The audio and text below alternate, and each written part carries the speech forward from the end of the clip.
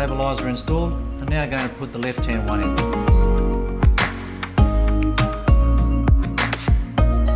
It's now time to install the canopy, which we built right back at the start of the build. It's not hard to figure out what's going to go on here. This little tab here is going to go into that slot here and it's going to sit on like so. The easiest way I found to do this is to slather the glue on here quite thickly and then place it on, pull it off and that leaves a residue of glue on the correct outline and then you can just go and smear that around, add a bit more if you need to, then put some on the tab here and lock it down. So I've put an excessive amount of glue on here, that's by design. I haven't put any in the slot or the tab yet. I'll just get it into position, press it down so that the glue is transferred. Lift him off and now I can just use that guideline to uh, see where the glue has to go. Look, there's enough there. I put enough on in the first instance. So I'm just going to smear it out and make sure it's okay.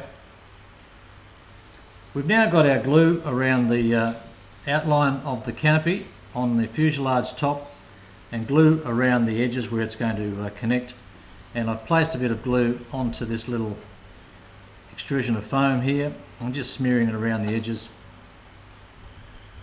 and now we're ready just to install the canopy press it into place line it up so that it runs true down the middle of the um, fuselage and just press it down gently. And a little bit of tape will just help to keep it in place.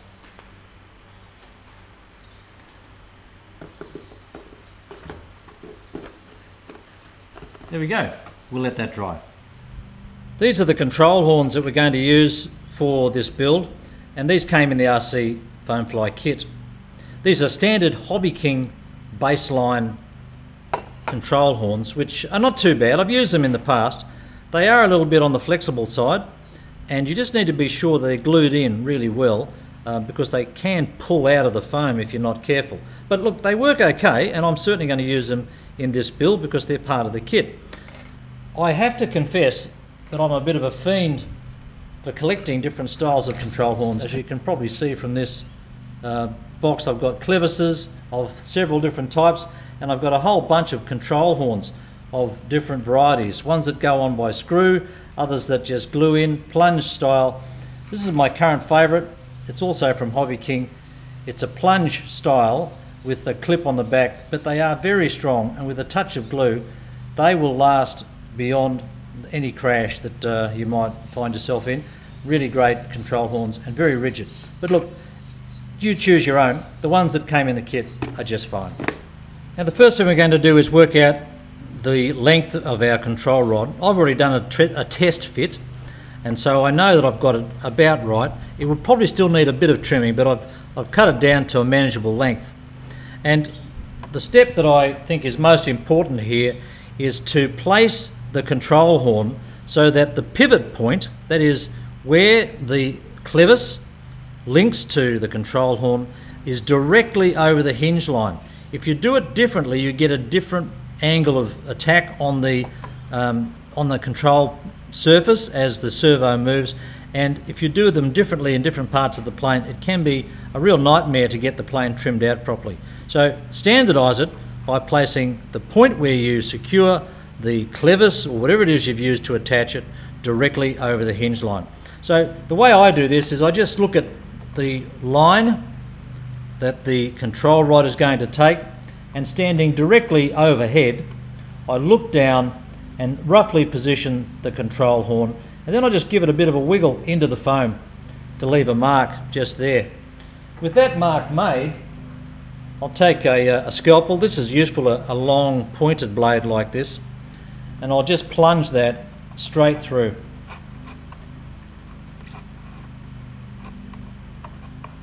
Like so. Then take your control horn and at this point you might want to think about some glue but I'm just going to do a test fit for you and just excuse my hands in the way again. There we go.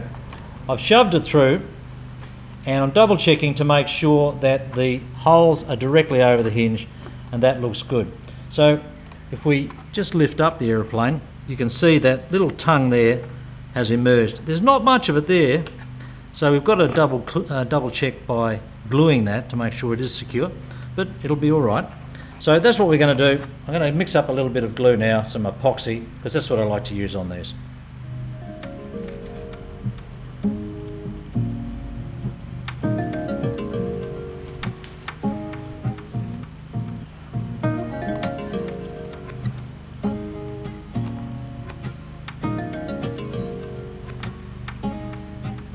Okay, so that control horn is epoxied in, that's not going anywhere, and that nice bath of glue around the base of it will um, add to the surface tension and the surface area that the control horn can act on. So that'll be terrific.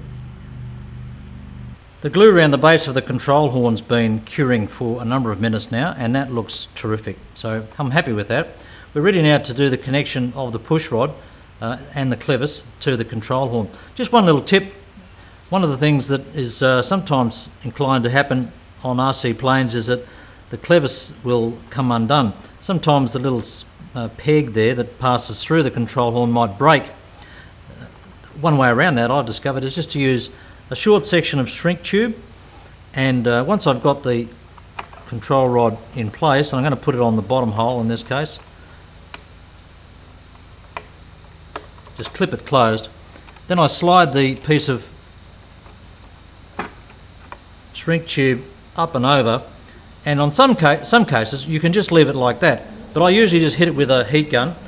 I just put a piece of card or something underneath to protect the foam give it a blast with a heat gun and that really does crimp down on it and it, there is no way then that that's going to come undone on you.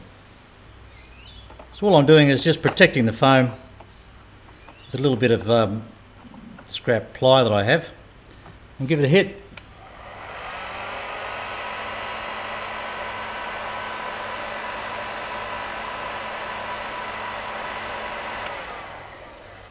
I've gone ahead now and installed the control horns into the elevons as well and run the control rods up through that little angle that is used to secure the fin and that runs up to the relevant servo horn up there. So um, that will provide a nice straight run for the elevon and because these rods are quite thick there shouldn't be any flex at all. I'm now going to go on and install the control linkages for the rudders. Now, there's a couple of little issues here. Where we've got our end stopper down here, where our servo uh, control rod might go, is clearly, even if we angle it a bit, below the, the rudder area. So we've got to have to bend this in some way or other. There is another way around it. I have tried it. It's where you angle the whole servo. You glue it in at an angle, but I found that not to be very satisfactory. One of the things that I've noticed that Dave Powers does on his planes is produce a sort of a lazy S bend to control it that way, and um, that works pretty well. I asked Dave how he goes in bending the metal to the correct shape and to get it the same on both sides because if they're different you tend to get different rates of throw in the rudder.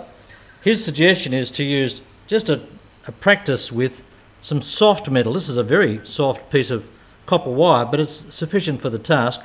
The idea is that you use this just to get the rough shape.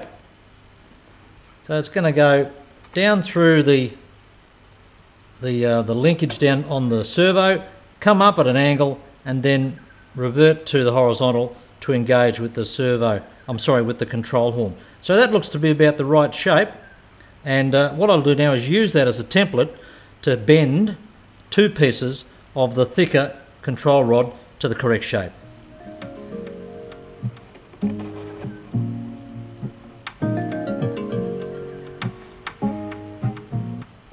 I haven't glued anything yet, this is just a dry fit. So the control horn's in about the right place and the angles seem okay.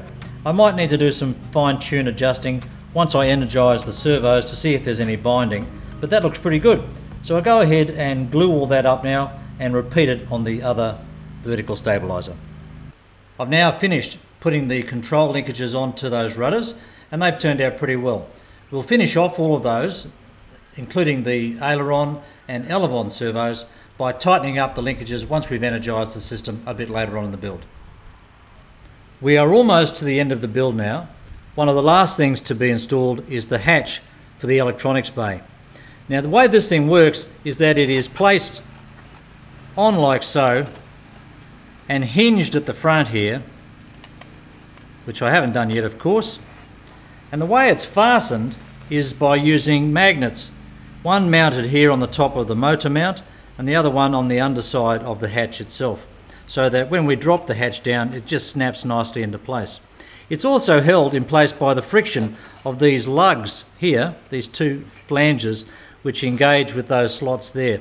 And that can double up the uh, friction to make sure we get a nice secure hatch there. So what we're going to do now is position the magnets. The easiest way to do that is to sit the magnets you intend to use, the two of them together, so they're already um, like um, poles in opposite directions, so they're attracting each other. And what I'm going to do is just place the hatch in the correct position and then press down. And that will do two things. It will leave an indent in the foam of the motor mount and leave another indent in the underside of the hatch cover. So when we pull it away, we can see the little indent there and we've got a similar outcome down here. What we'll do now is just remove a little bit of foam and then glue the two magnets in place.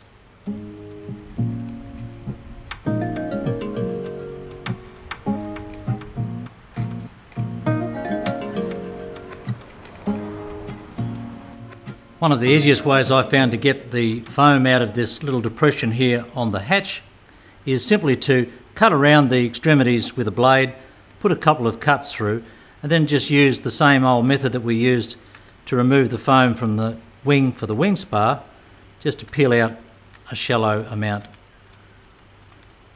of the foam. Don't go too crazy because you'll dig a hole right through. There we go, and that'll press in nicely. Just use a little bit of hot glue.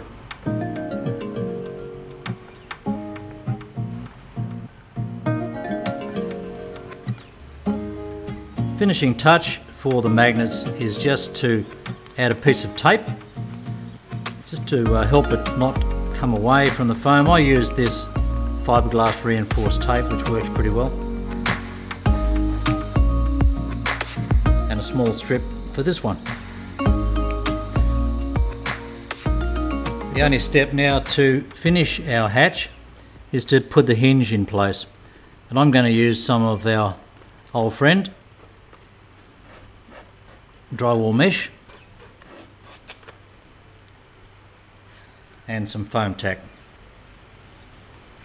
Doesn't hurt to be a bit liberal with the foam tack on this hinge I've found. It gets used a lot, at least a couple of times every flight. As we move towards finishing off the build of this RC Powers F18, one of the steps that is always important I think is to balance the propeller.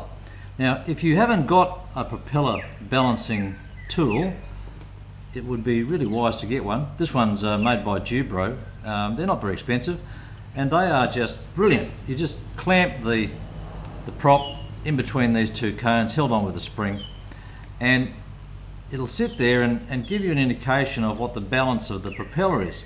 And as you place it on there, if it tends to swing on its own, well you know you've got a heavy blade on one end, one side of the propeller. And the reason this is important is that that causes vibration when it spins. That's tough on the motor, tends to break down the mount that the motor uses to secure to the foam and is also more noisy. So it's always useful to spend a bit of time finessing your propeller all you need is um, a couple of grades of sandpaper, uh, rough and slightly smoother. I've made a start on this. The important thing I'd say is that when you are taking some of the uh, plastic away, try to work in the back of the blade. All right, we know the front of the blade is where the little bit of writing is that tells us the size. This is a 6x4E, E for electric. Try to um, take it from the back and don't change the profile of the blade if you can. Just work into the sort of spoon there and take it away, take it away, a little bit at a time and uh, you'll get there. Sometimes you need to just also take a bit off the hub. Uh, some people use a bit of tape to weight one side, that also works. I just prefer a nice clean blade. Uh, I'll keep working on this one now. I'm almost there. I'm just trying to um, just smooth it out a bit now because I have been taking a bit of the, um, the plastic away. And you just keep working like that and just keep testing it until you're happy. And you know you're happy when it'll sit, there we go, I think I might have cracked it, when it'll sit in any position without rotating. If this had a heavy blade on one side, it would rotate by itself and just drop the heavy blade to the bottom. There we go. My blade's balanced. Always a useful thing to do. I want to correct something that I told you earlier in the video about the placement of the servos, particularly these servos here, which are for the elevons or elevators. I said then that I always place my servos so that the wires are going forward from that part of the servo. Of course, that also means that this mechanism here, including the control horn when fitted, would also have been at the front. I've had to go back in, pop out this servo, flip it over and reinstall the control horn. Why? Because I realised with it in the position I had it previously with the mechanism up here at the front of the servo that that would have got in the way of the propeller. If I just pop this propeller into place loosely like that, you'll get the idea.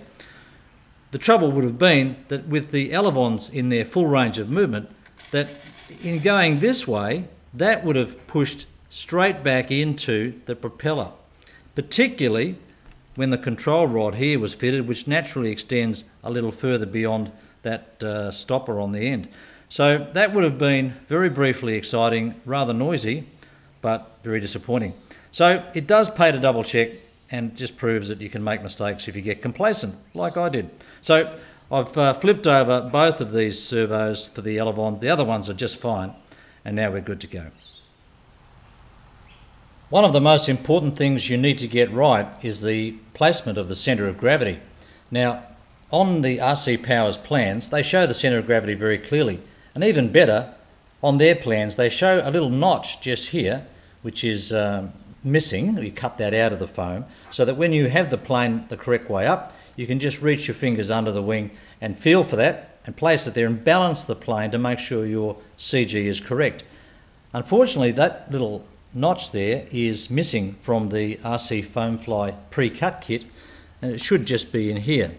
All I've done, just to get over that, is to glue in place a little rubber bumper or stop. These are usually used to prevent a cupboard door banging or something similar. Just pick this up from the hardware store, self-adhesive little little bumps. And uh, with a touch of hot glue just to make sure it adheres, I just place that there and that gives me something to feel for when I've got the plane down at the field and trying to double check that my CG is correct. The first step in setting up the electronics for your plane is to bind your receiver to your radio so that they can talk to each other and therefore control the aeroplane. Now I'm using this Orange RX 6 channel receiver. I just happen to have a bunch of these on the workbench. You could of course use something a bit more upmarket. This is a Spektrum AR6210. That's a really top class uh, receiver, a bit more pricey. And if you want to go the other direction, a really inexpensive option is the Lemon RX tiny lightweight 6 channel receiver. I think RC Foamfly also sell this one and that works great. I've used it in some of my light models, very lightweight planes. But that uh, is not what I'm going to use today. I'm going to go with the Orange RX job. Okay, so I think uh, everyone has seen plenty of videos on this, so I'll just be quick. Firstly, I've already gone into my radio and selected the model that I want to have this plane functioning alongside, uh, set it up as F-18 RC powers. And what we've got to do now is in the first instance install a bind plug. That'll come with uh, every receiver you buy. That just goes into the bind slot. Depending on your receiver, uh, that might be in a different location, but mine's just up here. So we've now got a bind plug in and I've connected my ESC to the throttle plug there so I can get some power to the receiver. It's simply a matter of firstly making sure that your radio is off you then connect power and you'll see that your receiver starts to blink and hoping uh, that you can see that on the video. Then with my train switch or bind switch pressed down, I turn on my radio and the two devices will start to talk to each other. I watch the flashes down here. When it stops, I release. The light comes back on and we're bound. This radio and this receiver are now the best of friends and will only talk to each other. I'm now going to move on to connecting the motor leads to the ESC. And there's just um, not much to this. Simple matter of getting the plugs joined up and checking that it's giving you the correct direction of rotation of the motor. You can sometimes get a hint as to which way to go. If you look at your ESC, you might be able to see that it's got a positive symbol for this red one and negative symbol for the black uh, cord here. And I have found that that same polarity sometimes applies to the wires that go to your motor. And so as a general starting out position, I will attempt to match red to red and black to black using the colours here and then throw the yellow one on the middle one. And so I've got a sort of a continuity going on here, red through to red. Now it doesn't always work, depends on the brand, but we'll just um, we'll just see how that goes. All right, how do I know which way the motor needs to turn? I look at the prop. The prop is always going to go on with the lettering and numbering telling us that this is a 6x4 prop on the front. And looking at the shape of the blade, you can tell that that's going to turn in this direction. Counterclockwise as I look at it from the front of the plane, clockwise as I look at it from the back of the plane rather than put the prop on there and risk chopping my fingers off, um, which would be a bit of a disappointment for the day, I've just put a piece of tape on there just so I can see what's going on. So I've got my uh, radio turned on. I'm double checking that I've got the throttle at zero and I'll just make a connection to a battery here.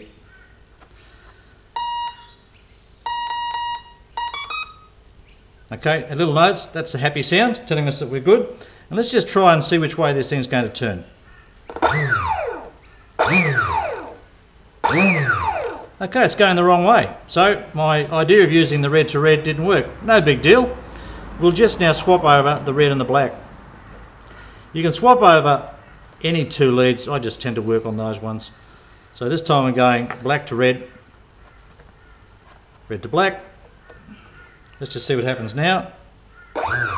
Okay, we're good. It's turning clockwise from the rear of the plane or counterclockwise from the front. So when the propeller goes on, it's going to turn this way. I now have got my motor set up and functioning correctly and going in the right direction. Now that I've got the motor turning in the right direction, I can go on with connecting the rest of the leads into the receiver. Now this can be a bit of a challenging time if you're new to building. I've found it hard in the past, but over time you just learn what to do. And Every time I do a build, I make notes. Now you might think that's a little obsessive, you may be right.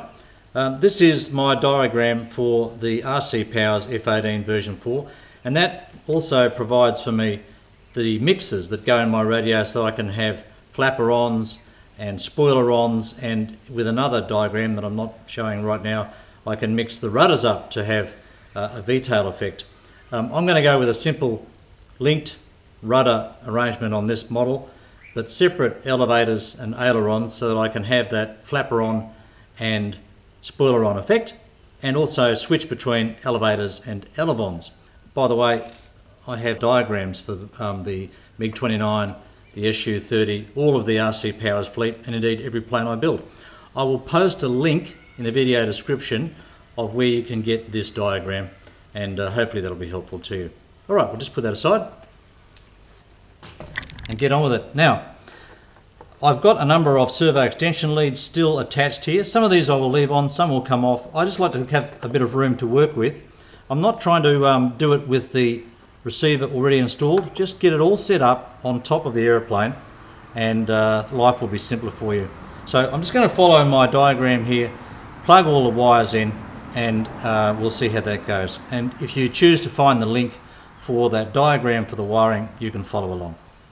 Before I go on putting the rest of my wiring together, I will mention one thing about going for an Elevon only setup.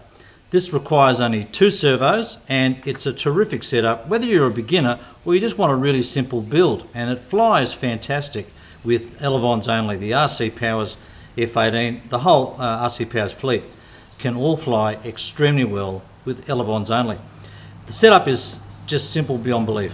You only need of course the servo leads that are coming from the Elevons and you will plug one into the aileron slot on your receiver and the other into the elevator slot on your receiver and take it from there. You might find that you need to swap those around if you're getting the throws going in the wrong direction or you can also make some adjustments in the radio if you're comfortable with that. But if you're starting out or just want a simple build, you can't go past the Elevon only setup on the RC Powers planes. I'm just putting in the last of my connectors and this is for the rudder.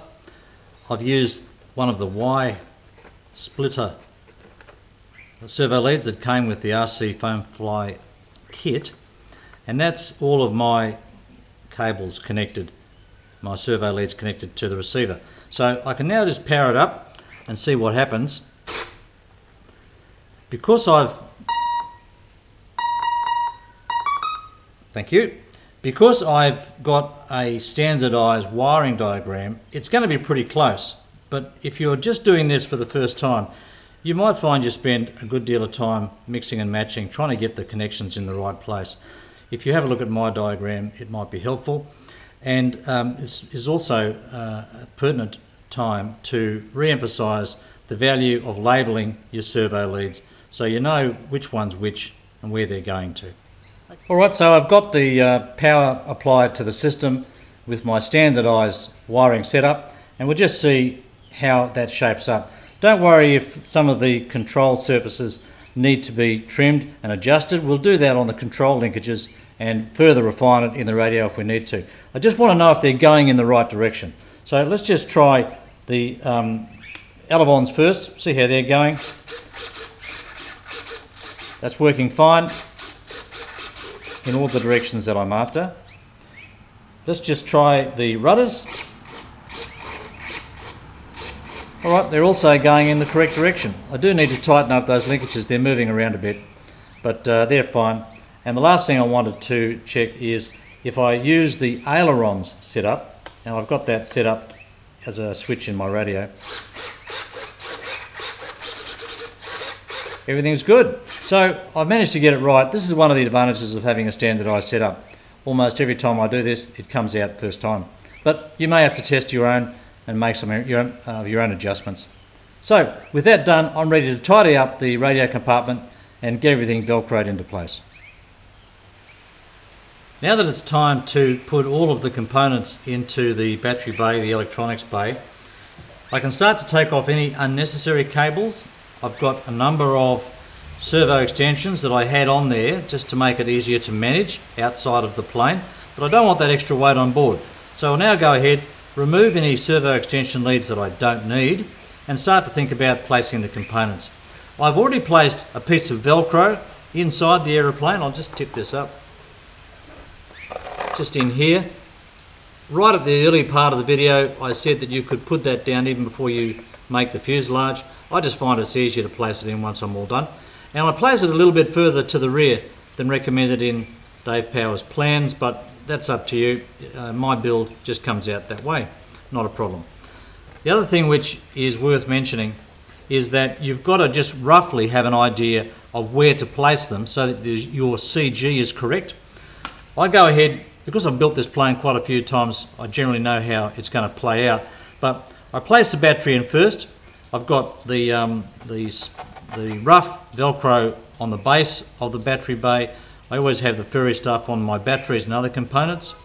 And oh, by the way, I just point this out while I've got it out. If you're not in the habit of labelling your batteries so you know when you bought it, you should. This for me tells uh, me that this was purchased in June of 2014 and this is number five in a group of six that I bought. I cycle my batteries through and keep a track of how many times I've used them.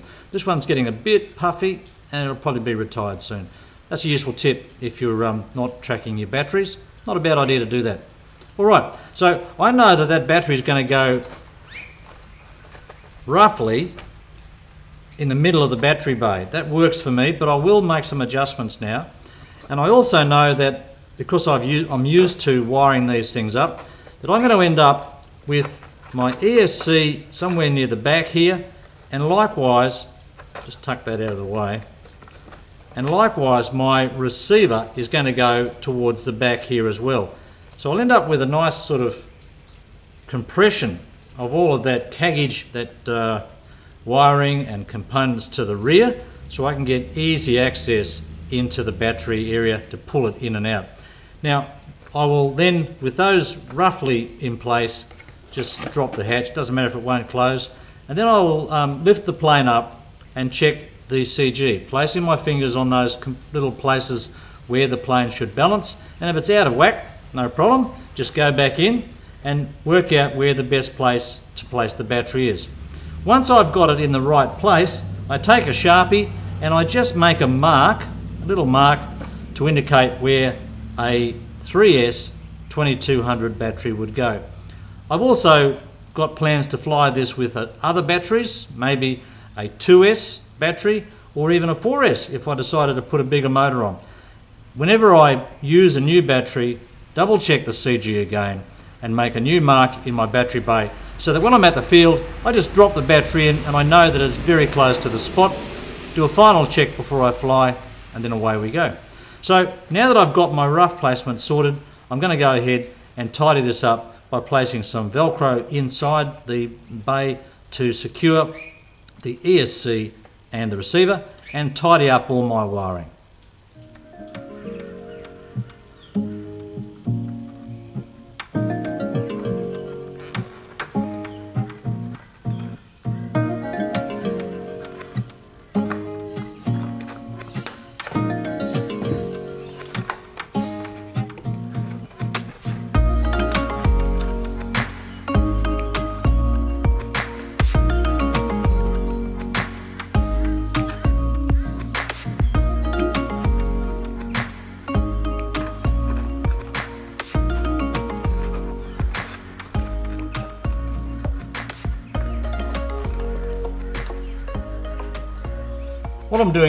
Is going around and just double checking that with the system energized, that is a battery connected to the ESC, and that in other words means that the servos are also energized.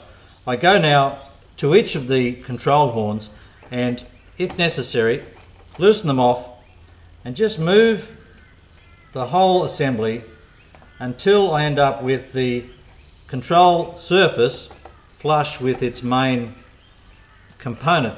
In this case, I'm making sure that the rudder is, uh, is flat with the rest of the vertical stabilizer. When I'm content, I'll just lock it down. And I'm going to do that on all of the components, the elevons and the ailerons also. And with that done, you'll have much less trouble in trying to do your final trim when you get this thing in the air for the very first time on its maiden flight. I have to say that in my four of these that I've built, well this is the fourth, the three others that I've built, I have not had to do a single touch of trim straight off the bat, which is a testament to the design by Scott Lott and Dave Powers at RC Powers. It's a terrific design and it also makes me feel good because it means the build is nice and tight. I'm going to get on with that same process on the rest of the control surfaces. When you come to adjust the linkages, the final check of the linkage lengths on the elevons, it's important to get these exactly the same. If they're out but the, by the same amount, the two of them, well that's not so bad, but if one's out more than the other, that makes for all sorts of challenges when it comes to trim the aeroplane. So just grab yourself a little scrap of foam like I've got here, and one at a time, loosen off your linkage and get the elevon where you think it needs to be.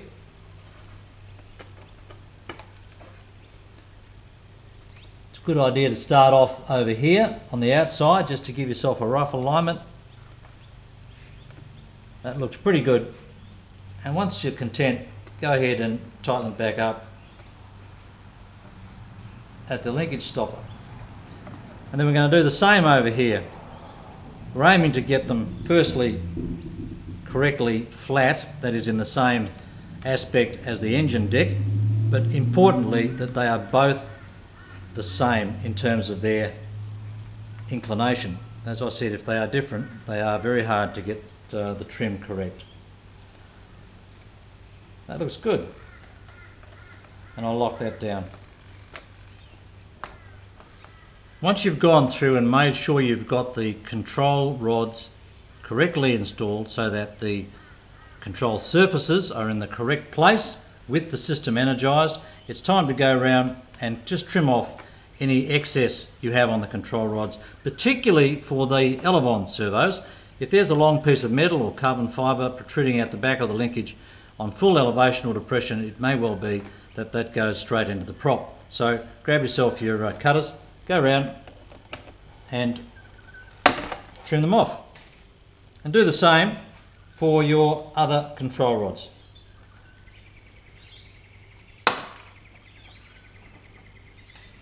I've now just uh, installed the propeller onto the shaft. In doing so, I found it was just a little tight to get on. And uh, so, as a precaution, I just took another little shave of foam off um, the rear of the prop slot here. If you find you need to do that, just go ahead. Um, you've got the uh, spar here and the servos about here, so there's still a bit of room, and that's now given the prop a bit more air. I'm just going to uh, use this little uh, metal rod that came in the RC Foamfly kit just do the final tighten down. Support the motor while you do this. You don't want to be tearing the mount off at this stage of all your hard work. There we go. And we might just give it a little uh, test. Here we go.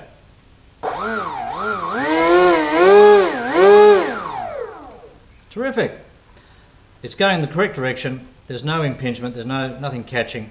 And uh, as a final check, I'll just uh, make sure that my Elevon controls are well clear, and they are, so everything is fine. I just wanted to make sure those um, servo horns and control rods didn't come back. That's all good. So we've now got a prop installed, nicely balanced and tightened down, so that's great. Okay, we are almost there. One of the things that I do with my models, and a lot of guys do the same, is do a bit of final shaping of the foam on each of the leading edges and, and the wing area in particular to just shape it a bit better. You can absolutely leave it as it is stock. That is, you know, flat edges, no rounding of the forward edges of the wings or any rounding of the fuselage, it'll fly absolutely fine like that. It's just uh, something I like to do. I think it does reduce a little bit of drag and it also makes the plane look a little more pleasing to the eye. So we're going to get on with that now. Um, there is a bit of skill in this, but it's just a matter of practice. The key thing is to have a super sharp blade. I run my little blade out like this to its full extent. This is all fresh edge back in here. So it's going to cut nice and straight. Now, if you had a straight edge, say the side of your fuselage, you could use a steel edged ruler, steel ruler, to give yourself a guide. What we're going to do is lay the blade at an angle in and then at a nice uh, gentle angle to the foam itself and slice away some of the foam. I've done a lot of this, I'm happy to go freehand. If I make a bit of a wobble, I can always fix it up with some sandpaper and a bit of a trim. So this is um, something you approach in, in increments. Don't you know gouge right into it on your first cut. Just uh, sneak up on it and see how you go.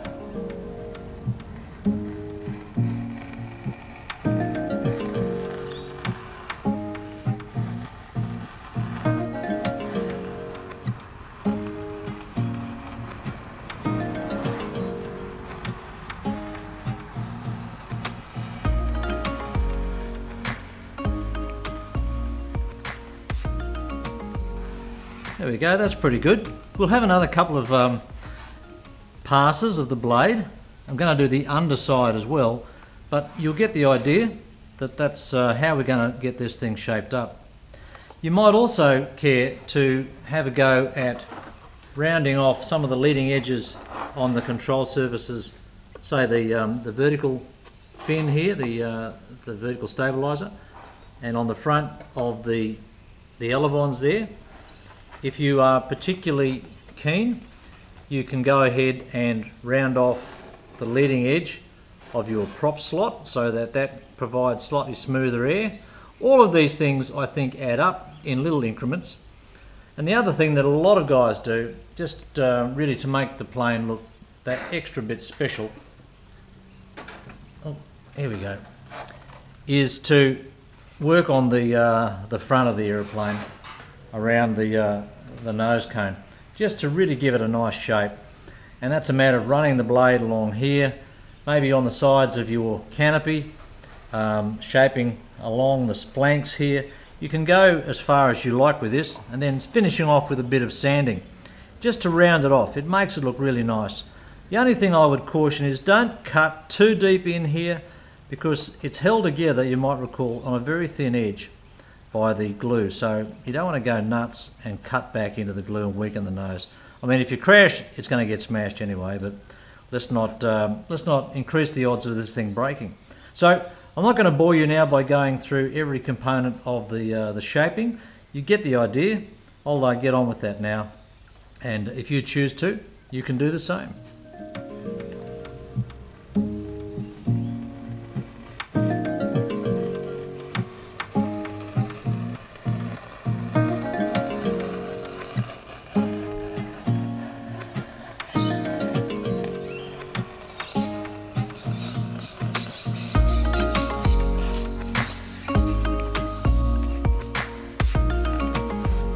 Once you've got the, um, the carving done and got it shaped up, just uh, a little bit of um, sandpaper. This is from the RC foam fly kit, which is quite handy, and a sanding block.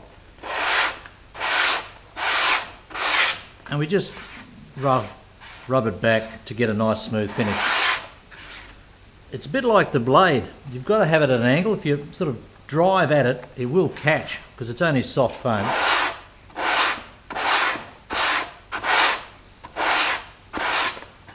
You're better off having multiple swipes at it than one big hard hit.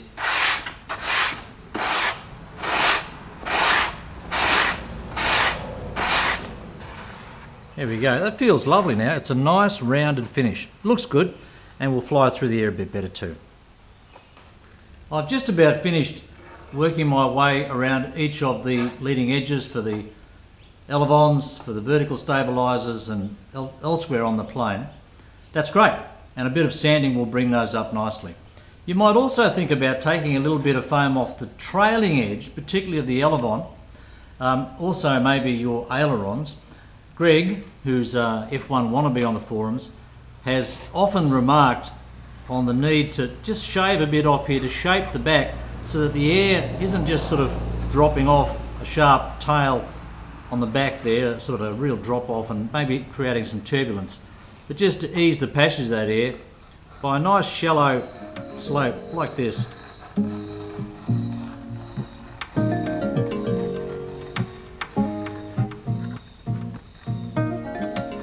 And the same on the underside, just gives the air a smoother journey coming off the back of that control and uh, might make for a smoother flight.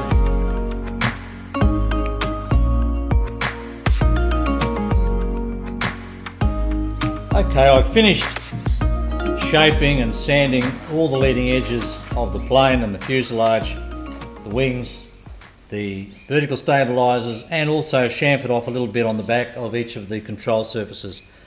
Can I just say to you that if this is your first build, don't do all that. It's only a few bonus points and isn't going to change particularly how the plane flies.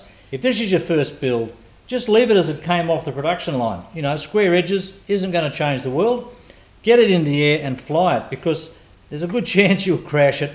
And uh, you don't want to be sort of losing heart because you've spent hours on a beautiful finish to the plane only to see it uh, spud in um, after one or two flights. If this is, you know, your your um, ent entry to the world of RC flying.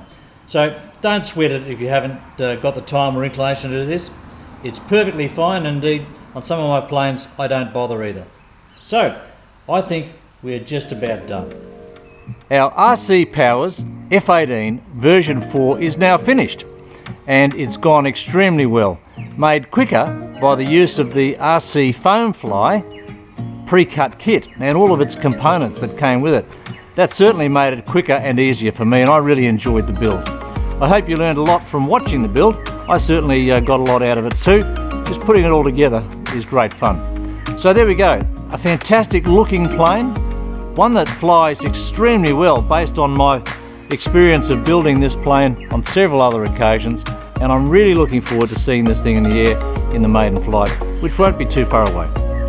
Thanks for watching, I hope you enjoyed it and take care.